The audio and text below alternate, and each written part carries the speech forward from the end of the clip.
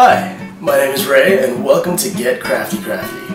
First of all, thank you to everyone for checking out our first three pilot episodes, things you can make with household ingredients. Today we are shooting in our new LA location and we'll be starting the first of our three projects, Fun with Plaster.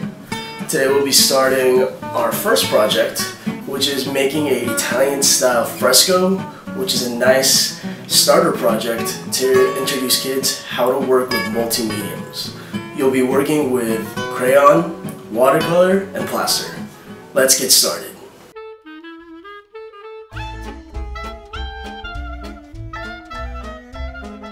The items that you'll need for today's project include a disposable mixing cup, a small mixing spoon, one cup of plaster of Paris, half a cup of water, about a square foot of burlap or fabric, crayons, watercolors, and a square foot of cardboard. Stop! I almost forgot. Check out this video before you continue this project. It, it's a bunch of things that you need to know about working with plaster. If you are a kid, definitely check it out. If you're an adult, still check it out. You never know what you might learn when check when working with plaster. Once you've watched this video, your project will continue in three, two, one. First, take your fabric or your burlap and place it in the center of your cardboard. Take your mixing cup and pour your plaster into the mixing cup.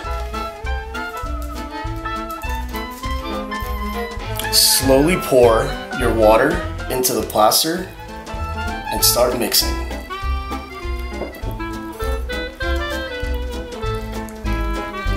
Mix your plaster until it's smooth and there are no more lumps.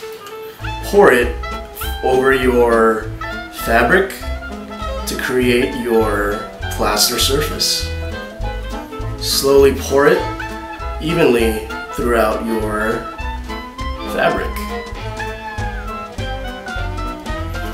Even out your plaster and avoid any lumps, lightly tap the side of your cardboard to spread out your plaster.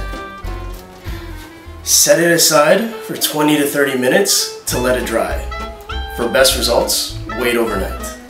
Once your plaster has set and dried, go ahead and start using crayons to draw on your plaster surface. Today I'm drawing a sunset since it's really hot in LA, and what better way to remind yourself of the heat then to draw a sunset. You'll notice by rubbing the crayon into your plaster, it creates an interesting blending effect. Using your crayon, you want to color 30 to 40% of your fresco. Once you finish coloring, fill in the rest with watercolor. This is the third medium in our multi-medium project. You'll notice the watercolor reacts differently to plaster compared to regular water. See what interesting techniques you can paint with when creating your fresco. Once you finish coloring your fresco, go ahead and put it on display. Leave the fabric on to hold the plaster. Uh, it's a great introduction piece to introduce kids how to work with plaster, crayon, and watercolor, three different types of mediums. Uh, come back next week where we'll be creating our next plaster project and take care disappear, reappear. Thanks for watching. Come back next week and remember to share your experiences below and to share and subscribe to the channel. Take care.